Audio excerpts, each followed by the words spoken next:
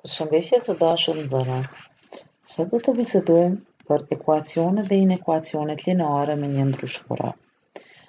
Termet ekuacion dhe inekuacion nuk janë terma të reja për juve, pasi që me këto terma jeni njoftuar qysh nga klasat më të ulta, po sot në mënyrë më të detajuar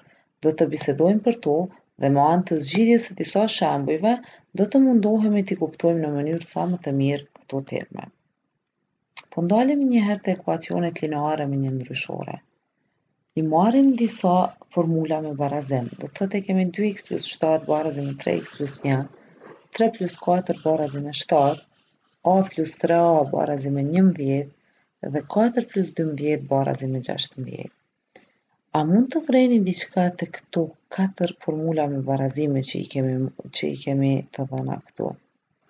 E shohim se formula e dhënë nën A dhe nën C janë formula me barazime të cilat përmbajnë ndryshore në vete, kurse formulat e dhëna nën B dhe nën D janë formula me barazime të cilat nuk përmbajnë ndryshore në vete. Për formulat me barazim apo formulat e barazisë me një ndryshore, mund të themi se quhen ekuacione barazime me një ndryshore. Tani emërtojmë pjesët e ekuacionit. Do ta marrim si shembull ekuacionin 2x plus 9 është e barabartë me 7x minus 4. Këtu e kemi anën e majtë të ekuacionit, e kemi shenjën e barazimit dhe e kemi anën e djathtë të ekuacionit. Tani në mënyrë të detajuar do të marrim disa shembuj për të parë se si bëhet grumbullimi i ndryshoreve në një ekuacion dhe si gjindet kjo e panjohura e cila na duhet neve për të gjetur.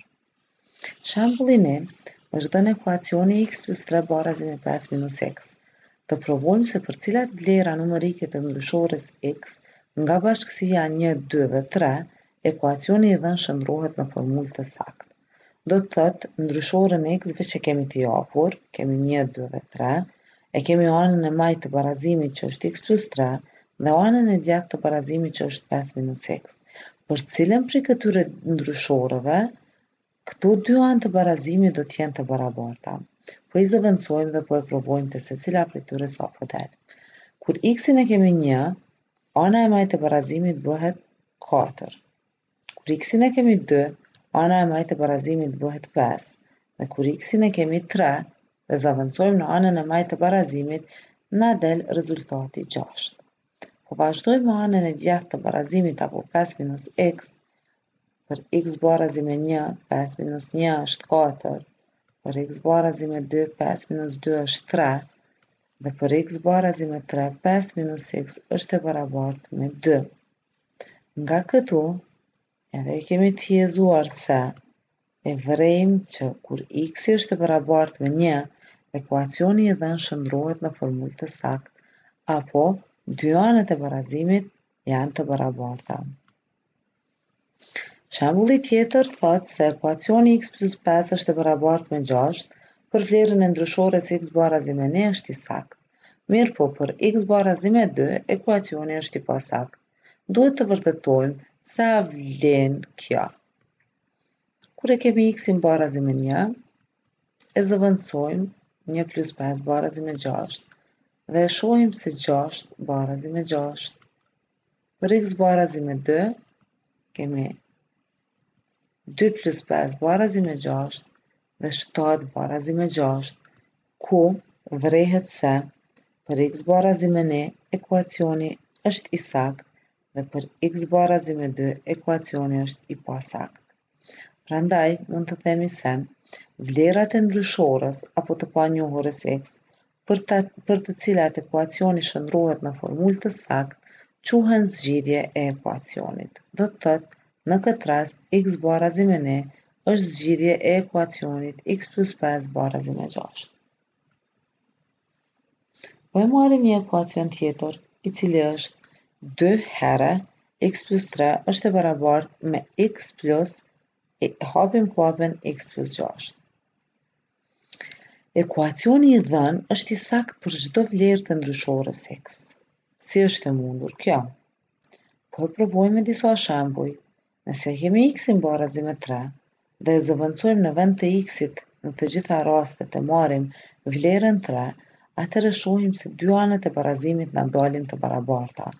Provojeni ju në fletoret e juaja. Njëjtë nëse e marrim edhe iksin tridhjetë e edhe iksin katërdhjetë e pesë. Po përveç këtyre vlerave, cilëndo vlerë që e marrim të iksit dhe e zëvendësojmë në ekuacionin e dhënë më lart, atëherë ekuacioni është i saktë për çfarëdo vlere të iksit. Ekuacionet e tilla i quajmë identitete. do të thotë ekuacioni që është i saktë për çdo vlerë të ndryshores në të quhet identitet. Tani, për zgjidhje të ekuacioneve do të përdorim dy veti, me anë të të cilave ekuacionin e transformojmë në një formë më të përshtatshme për zgjidhje. Do të thotë kemi vetin aditive, e cila thotë se nëse të dy anëve të një ekuacioni u shtojmë ose u zbresim të njëjtin numër, ekuacioni nuk e ndryshon zgjidhjen. Dhe vetin multiplikative, e cila me anë të së cilës sigurohemi se nëse të dy anëve të një ekuacioni i shumëzojmë ose i pjestojmë me një numër jo zero, ekuacioni nuk e ndryshon zgjidhjen. Tani po provojmë po e zgjidhim ekuacionin me anë të këtyre dy vetive, të cilat i përmendëm. Do të thotë kemi ekuacionin x plus 12 është e barabartë me 23 dhe dojmë me gjetë se për çfarë vlere të x-it ekuacioni është i saktë. Për të gjetur këtë, së pari, Të dyja anëve të ekuacionit u zbritet numri dymbëdhjetë. Pse zbritet numri dymbëdhjetë? Sepse qëllimi jonë është që të izolojmë këtë x në anën e majtë të ekuacionit, pra të gjejmë x-in sepse kjo është e panjohura e cila neve na nevojitet.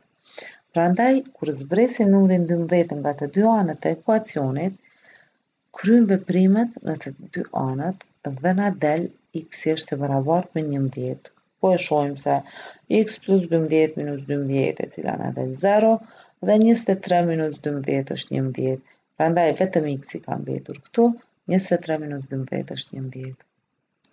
Zgjidhja e ekuacionit të dhënë pra është x-i barazi me njëmbëdhjetë. mund ta bëjmë provën që ta vërtetojmë se e kemi zgjidhur sakt ekuacionin dhe në vend të x-it të zëvendësojmë zgjidhjen e cila na ka dalë dhe e shohim se të dy anët e barazimit dalin të njëjta. Pra, e kemi zgjidhur sakt ekuacionin. Po e marrim një ekuacion tjetër. 4x minus x minus 2x minus 3 është e barabartë me 5. Ajo që e bëjmë së pari këtu është që i grupojmë kufizat me ndryshore. Do thotë e kemi ndryshoren X dhe i grupojmë brenda kllapave këto kufiza. Pasi që i grupojmë kufizat, i kryjmë llogaritjet brenda kllapave. Do thotë, katër X minus X është tre X, minus dy X është një X apo ne e shkruajmë vetëm si X. Minus tre barazi me pesë vetëm e përshkruajmë poshtë. Tani, nëse nuk e harruat atë që e përmendëm më herët, është që x-i duhet të izolohet në këtë anë, sepse x-i na nevojitet të gjindet, dhe këtu e kemi minus tre. Prandaj, për ta për të mbetur x-i vetëm në anën e majtë të ekuacionit, duhet anë për anë ekuacionit t'ia shtojmë. numrin tre. Do të thot edhe anës së majtë, edhe anës së djathtë, ia shtojmë numrin tre. Pas përfundimit të veprimeve në të dyja anët e barazimit, na del se x-i është e barabartë me 8. Dhe zgjidhja e ekuacionit të dhënë është numri 8. Ju mund ta provoni në shtëpitë e juaja ta bëni provën. Tani po shkojmë po e vështirësojmë pak nivelin e detyrave, se po përfshijmë në tu edhe thyesa. Me siguri që thysat nuk i keni harru, se i keni përmend edhe në klasën e pestë, edhe në klasën e gjashtë jeni ndalë shumë edhe keni bisedu për tu. Hapi i parë që bëjmë edhe këtu është, që anë për anë, apo të dy anëve të barazimit u zbresim thysen tre të katërtat, sepse kemi për të gjetur x-in. Pas përfundimit të veprimeve në të dy anët e barazimit, gjejmë shumëfishin më të vogël të përbashkët të numrit njëzet dhe numrit katër. Shumëfishi më i vogël i përbashkët i numrit njëzet dhe katër është numri njëzet. Dhe kryjm veprimet e nevojshme të cilat nevojiten për zbritjen e dy thyesave. Dhe e shohim se n'fund rezultati na del gjashtë të pestat. Po kthehem një herë këtu, tridhjetë e nëntë minus pesë here tre, Mos e harroni asnjëherë radhën e veprimeve. Do të thotë, mos u habitni me thonë tridhjetë e nëntë minus pesë bëjnë tridhjetë e katër herë tre. Kemi zbritje dhe shumëzim, ku një herë kryhet shumëzimi i numrave, do të thotë tridhjetë e nëntë vetëm përshkruhet, minus pesë herë tre është pesëmbëdhjetë, mandej zbriten numrat në mes veti. do të thotë zgjidhje e ekuacionit. Këtu është thyesa 6 të pestat. Po e marrim edhe një shembull tjetër, një ekuacion me numra me pikë dhjetore, 1.25 është e barabartë me x plus 0.75, X-in e kemi në anën e djathtë kësaj radhe, e cila nuk prish punë aspak, është i njëjta, e njëjta gjë, do të thotë, për të mbetur X i vetëm, duhet që anë, të dy anëve të barazimit, t'ju zbresim numrin 0.75. Pas përfundimit të veprimeve, shohim se x-i është i barabartë me zero pikë pesë dhe zgjidhja e këtij ekuacionit është x barabartë me zero pikë pesë. Shembulli nëntë, i cili është në libër bazë, të zgjidhet nga ju dhe zgjidhjen e detyrës ta dërgoni në Classroom. Përveç përveç shembujve që i zgjidhëm deri tash, në praktikën e përditshme, shumë probleme që shtrohen për zgjidhje, përveç numrave përmbajnë edhe ndryshore apo shkronja. Për zgjidhjen e këtyre problemeve zbatojmë njohuritë që lidhen me zgjidhjen e ekuacioneve dhe në mënyrë të detajuar ndohem- ndalemi te disa hapa të cilat duhet t'i ndjekim për të pasur sa më të lehtë zgjidhjen e ekuacioneve të cilat në vete përmbajnë probleme nga jeta e përditshme apo shkronja. Po e marrim shembullin e dhjetë. Në klasën gjashtë tani ka gjithsej tridhjetë e pesë nxënës. Të gjithë nxënësit kanë votuar për dy kandidatë për kryetar klase. Stina ka fituar pesë vota më shumë se Andi. Nga sa vota kanë fituar secili kandidat? Së pari, kur kemi një problem me fjalë, e lexojmë me kujdes problemin. Do të thotë, nëse nuk na mjafton një herë, lexojmë dy herë, lexojmë tri herë, derisa e shohim se çka po kërkohet nga ky problem. Pasi që të lexojmë problemin, ose duke e lexuar, përcaktojmë pyetjet. Do të thotë, shënojmë me X numrin e votave që ka marrë Andi dhe me X plus 5 numrin e votave që ka marrë Stina, pasi që Stina ka fituar 5 vota më shumë se Andi.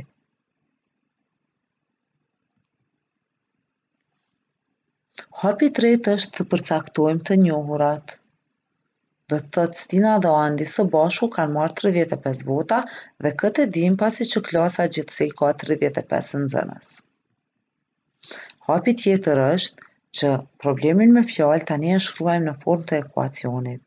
Do të thotë i kemi votat që i ka marrë Stina, që janë x plus 5, plus votat që i ka marrë Andi, Dhe këta dytë së bashku i kanë marrë 35 vota. Hapi i pestë është e zgjidhim ekuacionin që e kemi shkruar. Do të thotë lirohemi prej kllapave, x-at vendosen në anën e majtë të barazimit aty edhe ku janë, dhe në anën e djathtë të barazimit kemi tridhjetë e pesë minus pesë, do të thotë të dy anëve të barazimit faktikisht u zbresim numrin pesë. Një x plus një x janë dy x, tridhjetë e pesë minus pesë është tridhjetë. Kemi pjesëtuar me dy për ta lënë x-in vetëm dhe na del rezultati që x-i është e barabartë me pesëmbëdhjetë. E bëjmë provën e zgjidhjes, do të thotë në vend të x-it e zëvendësojmë numrin pesëmbëdhjetë dhe e shohim se dy anët e barazimit janë të njëjta, prandaj edhe është e saktë zgjidhja që e kemi bërë ne. Dhe hapi i fundit është rezultatin e përshkruajmë me fjalë, do të thotë, Andi ka fituar pesëmbëdhjetë vota, kurse Stina ka fituar pesë vota më shumë se Andi që janë njëzet vota. Diçka e rëndësishme të cilën duhet ta mbajmë mend është si të zgjidhim problemet me ekuacione. Do të thotë hapa të cilat duhet t'i ndjekim për zgjidhjen e problemeve me ekuacione janë të dhëna këtu. Lexojmë me kujdes problemin, përcaktojmë pyetjet, përcaktojmë se çka është e njohur, shkruajmë ekuacionin, zgjidhim ekuacionin bëjmë provën e zgjidhjes dhe në fund rezultatin e përshkruajmë me fjalë. Është e rëndësishme t'i mbajmë mend hapat për të pasur më të lehtë zgjidhjen e ekuacioneve me fjalë në të ardhmen. Shembulli 19, i cili është një ekuacion apo një problem me fjalë, dhe detyra logjike pas saj, të cilat ndodhen në libër bazë, të zgjidhen nga ju. Zgjidhjet e detyrave përsëri t'i dërgoni në Classroom. Pasi që në mënyrë të detajuar biseduam për ekuacionet lineare me një ndryshore, do të ndalemi pak edhe te inekuacionet lineare me një ndryshore. Formulat me jobarazime që përmbajnë një ose më tepër ndryshore quhen inekuacione, po na këtu do të ndalemi vetëm te formulat me jobarazime të cilat përmbajnë një ndryshore. Dhe për t'i kuptuar më mirë këto, menjëherë do të dalim te disa shembuj. Shembulli një, Të tregojmë se për vlerën x barazi me 1, inekuacioni 2x plus 1 ma i vogël se 7 shndërrohet në formulë të saktë, kurse për x barazi me 4 në formulë të pasaktë. E vërtetojmë. Do të thotë kur x-in e kemi 1, e zëvendësojmë në inekuacion dhe e shohim se 2 herë 1 plus një është më e vogël se shtatë, tre më pas llogaritjeve, tre më e vogël se shtatë. Kur x-in e kemi katër, të njëjtat veprime i, i krymë, do të thotë e zëvendësojmë prapë në vend të x-it katër, dhe e shohim se na del 9 më e vogël se 7. Këtu mund të vërejmë se Tre më e vogël se shtatë është e saktë, pasi që numri tre është më i vogël se numri shtatë, kurse nëntë më e vogël se shtatë është e pasaktë, sepse numri nëntë është më i madh sesa numri shtatë. Prandaj mund të themi se Vlerat e ndryshorëve për të cilat inekuacioni shndërrohet në formula të sakta quhen zgjidhje të inekuacionit. Të gjitha zgjidhjet formojnë bashkësinë e zgjidhjeve të inekuacionit. Në këtë rast e kemi x barazi me ni që është zgjidhje e inekuacionit. Në bashkësinë e numrave natyrorë, gjejmë zgjidhjet e inekuacionit gjashtë plus x është më e vogël se dymbëdhjetë. E kemi shembullin tjetër. Gjashtë plus x më e vogël se dymbëdhjetë, do të thotë të dy anëve të barazimit ju zbresim numrin gjashtë dhe e kemi x më e vogël se dymbëdhjetë minus gjashtë. X-i më e vogël se gjashtë, thot në bashkësinë e numrave natyror. Na kemi mësuar se cilët janë numrat natyror, prandaj edhe numrat natyror më të vegjël se gjashtë janë një, dy, tre, katër dhe pesë. Do të thot vlerat e kërkuara të ndryshores janë këto. edhe mund t'i provojmë se a vlejnë këto që i kemi gjetur apo jo. I zëvendësojmë në inekuacion secilën prej këtyre vlerave të gjetura dhe e shohim se 6 plus 1 është më e vogël se 12, pasi që 7-qi është më e vogël se 12-qi. gjashtë plus dyshi apo teçi është më e vogël se dymbëdhjeçi, nënçi është më e vogël se dymbëdhjeçi, dhjeçi është më e vogël se dymbëdhjeçi dhe njëmbëdhjeçi është më e vogël se dymbëdhjeçi. Pse nuk vlen këtu, nuk e kemi edhe numrin gjashtë, pasi që thot Vetëm ato numra që janë më të vegjël se gjashtë. Të kish qenë këtu edhe shenja e barazimit, atëherë kish qenë edhe numri gjashtë, sepse dymbëdhjeçi na kish dalë e barabartë me dymbëdhjeçin. Një shembull tjetër, shembulli tre, të gjejmë të paktën dy numra natyrorë për të cilat vlen x-i më i vogël se dyqind e gjashtë pikë pesë minus tetë pikë gjashtë. Pas pas përfundimit të llogaritjeve, e kemi x-i është më i vogël se njëqind e nëntëdhjetë e shtatë pikë nëntë. Prej nga mund të themi se dy numra për të cilat jobarazimi i dhënë është i saktë janë njëqind e nëntëdhjetë e gjashtë dhe njëqind e nëntëdhjetë e shtatë për shembull, sepse ka thënë të paktën dy numra, Po X-i më i vogël se njëqind e nëntëdhjetë e shtatë pikë nëntë është edhe numri një, është edhe numri dy, është edhe numri tre, pra ka shumë zgjidhje për këtë inekuacion. Po meqenëse na ka thënë të gjejmë të paktën dy numra natyrorë, atëherë na i kemi njëqind e nëntëdhjetë e gjashçin dhe njëqind e nëntëdhjetë e shtaçin.